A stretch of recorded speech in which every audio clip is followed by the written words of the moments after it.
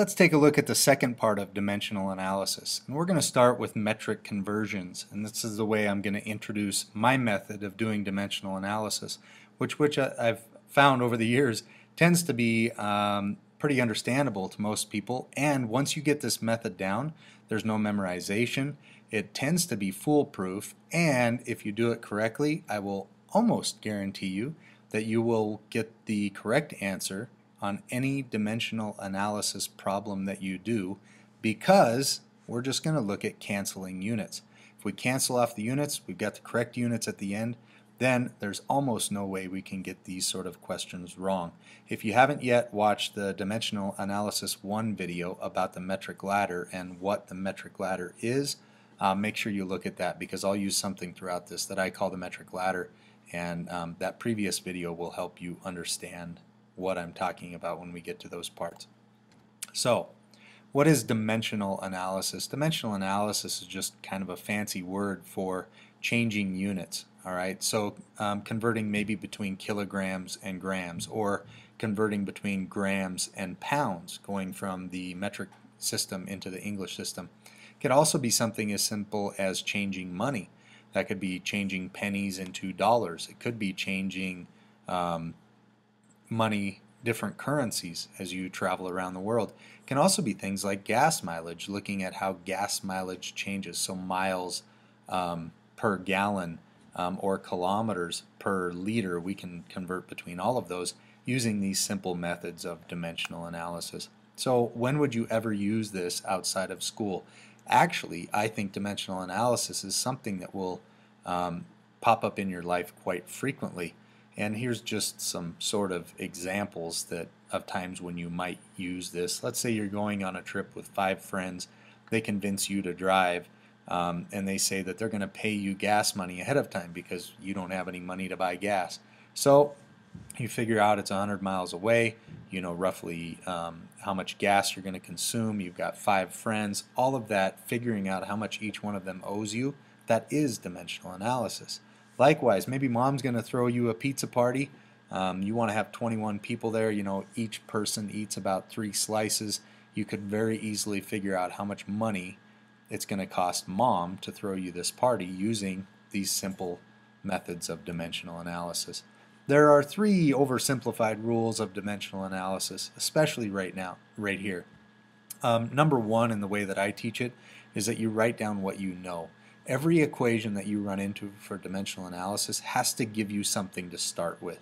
So sometimes people will call this the given. Write down what is given. Um, for now, I'll just call it write down what you know. Then we're going to set up conversion factors to cancel out the units. In science and oftentimes in real life, we're not we're never dealing with just numbers. We're always dealing with numbers that mean something. So we never write down 10 because we don't know if that means $10 10 meters, 10 gallons. You have to explain what the units are, which I think makes this easier. And then the last step, we're going to solve the problem. So let's look at a practice problem. I've got convert 93.16 meters to centimeters.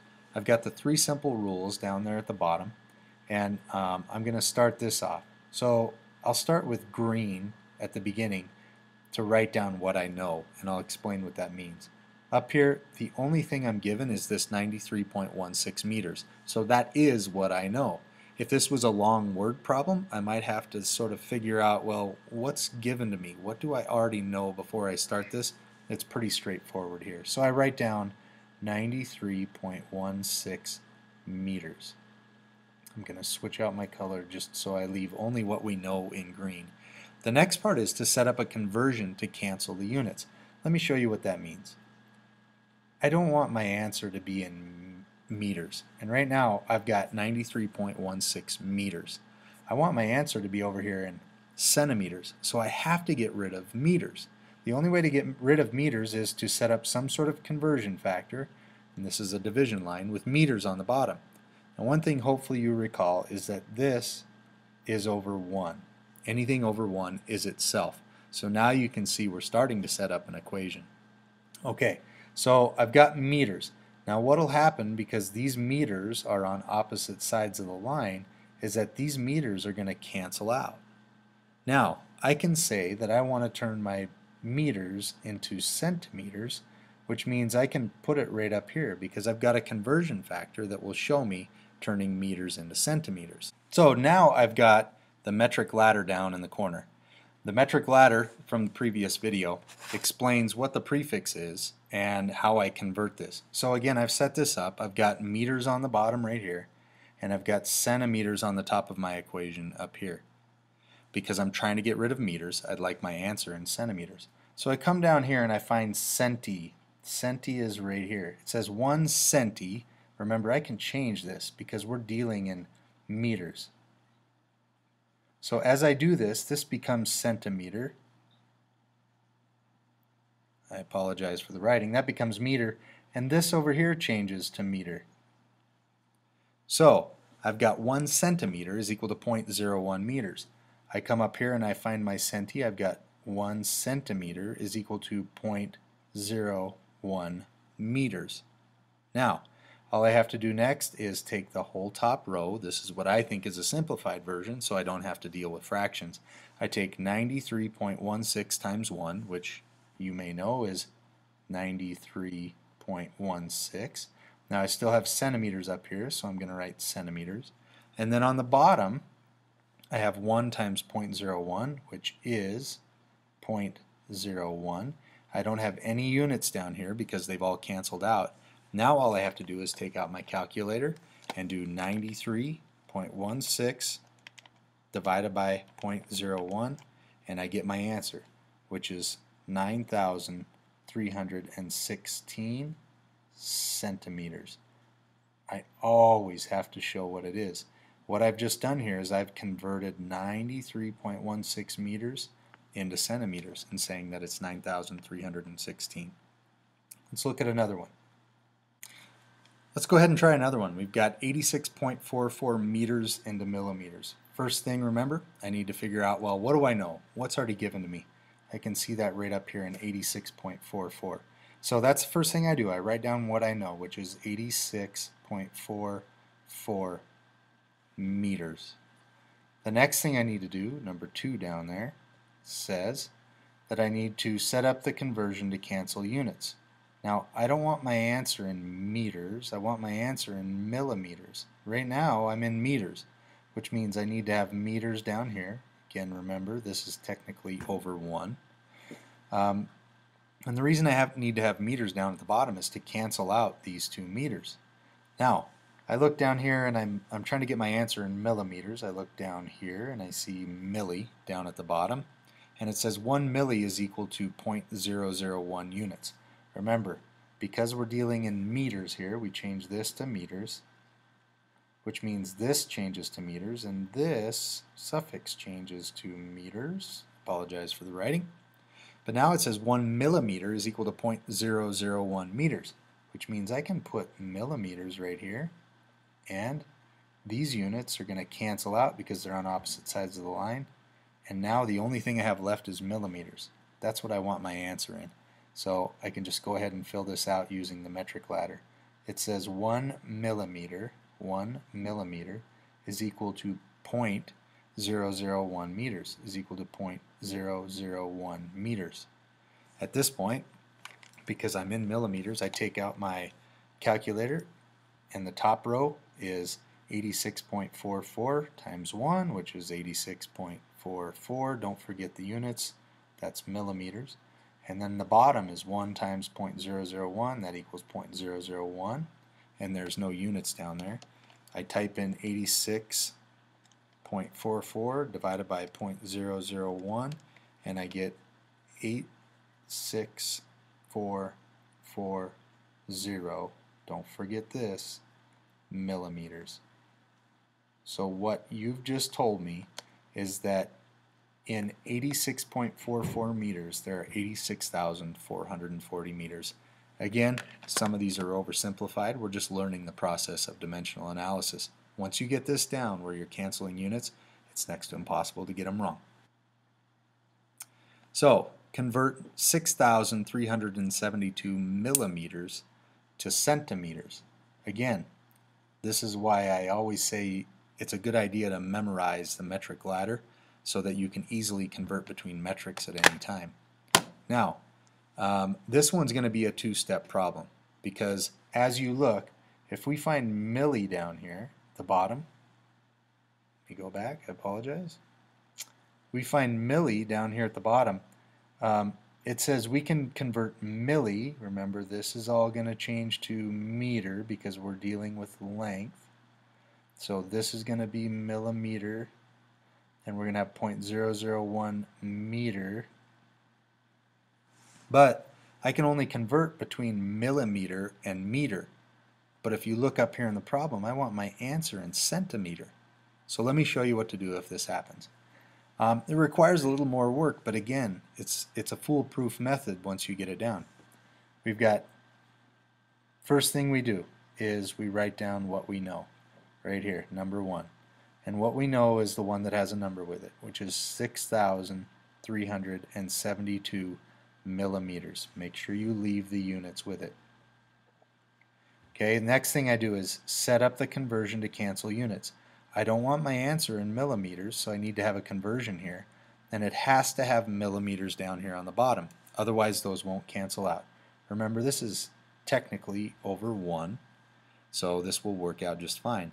Now, I come down here and I found millimeters earlier, right down here in my metric ladder. It says 1 millimeter is equal to 0.001 meters, which means I can only turn millimeters into meters with this metric ladder it says 1 millimeter is equal to 0.001 meters.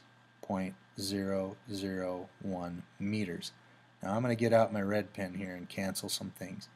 This millimeter and this millimeter are going to cancel because they're on opposite sides of my division line. But right now my answer is in meters. If I was going to stop right here, my answer would be in meters. I don't want it in meters. I want it in centimeters. So I need to keep on working. I know I'm not done yet because for some reason I'm in meters. But I can easily get rid of that with another step. All I have to do is put meters down here at the bottom and I know I want my answer in centimeters so I come down here and I look and I see on my ladder uh, my metric ladder it says 1 centimeter is equal to 0.01 again this is going to change to meters which means I can turn meters into centimeters and I come back down here it says 1 centi, 1 centimeter is equal to 0.01 meters, is equal to 0.01 meters. Let me get out my red pen because I know that this is going to cancel and this is going to cancel and the only units I have left right now are centimeters which means I can stop because I want my answer in centimeters. So now all I have to do is get out my calculator. I take the whole top row and multiply them together. So I have got 6,372 times 0.001 times 1 equals 6.372. Don't forget the centimeters. Centimeters. I'm going to have to change color because I ran off the page. Centimeters. Then Take the whole bottom row, which is 1 times 1 times 0.01. That equals 0.01. There's no units there. I divide 6.372 divided by 0.01. I hit the enter button and I get an answer of 637.2 and I can't forget about my units, centimeters. So what I've just said is that 6,372 millimeters is equal to 637.2 centimeters. Now I know that some people can easily just move the decimal back and forth. But again, I'm trying to teach dimensional analysis. I'm trying to teach this process of writing down what you know, canceling the units, and then solving. Because dimensional analysis problems are going to become much, much, much more complicated as we go. If you get this process down, you'll get those right just as easily as all the other ones. Let's go ahead and do one more for practice. Number one, write down what you know. Right up here, I know that I have 7,129 milligrams, so I write that down, 7,129 milligrams. Second thing I need to do is get rid of that milligrams because I want my answer in kilograms. So even if you can't remember what to do next, you can always remember the step. My answer can't be in milligrams, so I got to get rid of it. And the only way to get rid of it is coming up with a conversion factor. So I've got milligrams down at the bottom. Um, in the future, you'll see that I don't write this over 1 anymore. You just start to get used to it, and it doesn't have to be over 1, but I did it here just to show you that it can be over 1. Now, I see milligrams, and I'm trying to get into kilograms. So I see milligrams down here because I see 1 milli. Again, this is milligram now because this is gram. We're dealing in grams. And this changes to gram. And I see that all I can do is change 1 milligram into 0.001 grams. So I've got milligram down here on the bottom. I can only put grams up here because that's down here on the ladder. That's the only conversion I have. I see it says 1 milli, 1 milligram is equal to 0.001 is equal to 0.001 grams. Now, let me cancel out these units. Milligrams and milligrams are going to cancel because they're on opposite sides of the line.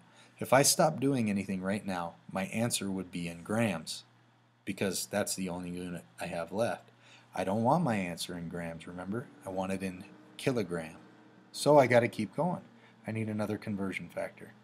Um, I need something with grams on the bottom to get rid of the other grams. And I'm trying to get my answer in kilograms. I look down here, there's kilo, and it looks like this is kilogram and technically now that everything has changed I have one kilogram is equal to 1,000 grams. So I can put kilogram here and it says one kilo one kilogram is equal to 1,000 grams. I cancel out any units that will cancel across the line. It looks like grams is going to cancel grams will cancel. The only thing I now have left is kilograms. That's exactly what I want my answer in so I'm done with step two. I go to step three, which is solve the answer. To do that, I take the whole top row and multiply it together. So I take one, uh, I'm sorry, 7,129 times 0.001 times 1, and this equals 7.129. Don't forget the unit, which is kilograms. Then I do the bottom. 1 times 1 times 1,000 gives me 1,000. And if you need the calculator, use your calculator. So 7.129 divided by 1,000 is going to give you 0.007129 kilograms. What you've just told us is that 7,129 kilograms is or milligrams is equivalent to 0.007129 kilograms. Uh, so you can find lots of practice for these online. Um, just look up converting or look up dimensional analysis for metrics and there are lots of things to help you practice even more of these. But we start to run into the problem that you get metrics down. You can convert between milligrams and grams and grams and kilograms. But what happens if you need to convert between miles and meters or miles and kilometers or any of those things? Um, also, what happens if you need to convert meters per second into miles per hour um, or some larger number that you might deal with in physics or in earth science? And what happens when you run into things like moles per gram and stuff like that in chemistry? Well, we'll look at that in the next video, um, Dimensional Analysis 3, where we're converting units of all kinds. And I'll show you that everything you've learned right here, those basic steps, number one, you write down what is known. Number two, you just start canceling the units, and then you finally solve it. It works just as easily when you're going between metric and English, and just as easy if you're converting speeds, shown on here, um, or just about anything else in dimensional analysis as well. So check out Dimensional Analysis 3, Converting Units.